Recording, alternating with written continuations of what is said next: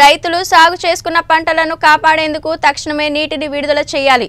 కర్నూలు జిల్లా హంద్రీనివా ద్వారా ప్రవహించే సాగునీరు నిలిపివేయడంతో రైతులు వేసుకున్న పంటలు ఎండిపోయే పరిస్థితి ఏర్పడిందని దీంతో రైతులు వేసిన అన్ని రకాల పంటలు కాపాడుకునేందుకు తక్షణమే హంద్రీనీవా నీటిని ఈ నెల చివరి దాకా అయినా విడుదల చేయాలని కర్నూలు జిల్లా సిపిఐ మండల ప్రధాన కార్యదర్శి ఎం నరసరావు డిమాండ్ చేశారు.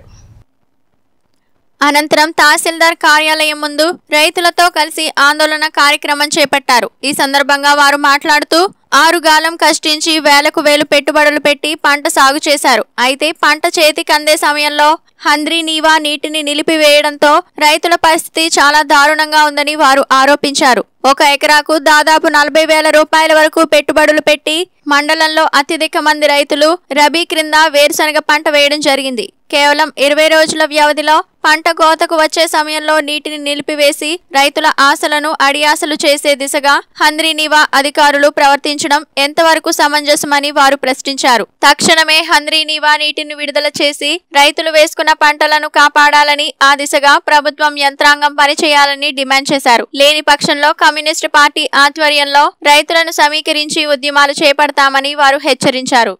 ఆరు రోజులుగా దేవనకొండ మండలం వ్యాప్తంగా హంద్రినీవా నీళ్ళను బంద్ చేయడం జరిగింది.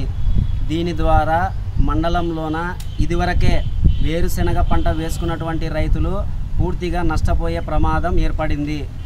వేలకు వేల రూపాయలు అప్పులు తెచ్చి పంట పెట్టుబడి పెట్టడం జరిగింది.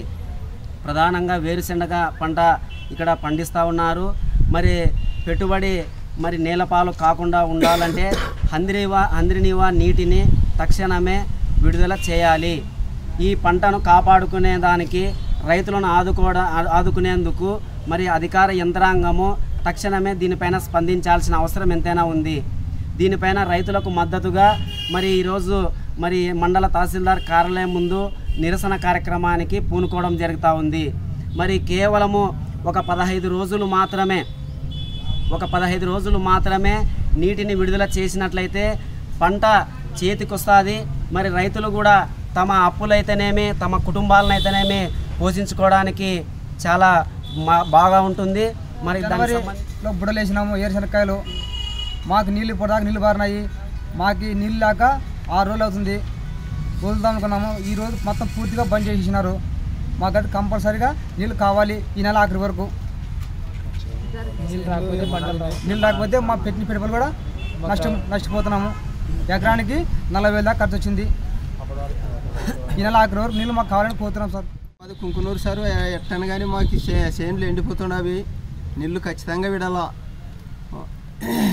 ఐదే నీళ్ళు రాక ఇంకో ఒక వారం ఒకటి ఇవ్వడానికి సార్ మాకు ఎట్టు ఎట్టు పరిస్థితుల్లో. ఎక్కువ పెట్టుకొని నెల ఎకరాకి నలభై వేల దగ్గర పెట్టుకునే పంటలకి అవి మేమంతా చెడిపోతున్నాం సార్ ఎట్టను కానీ రావాల నీళ్ళు ఈ నెల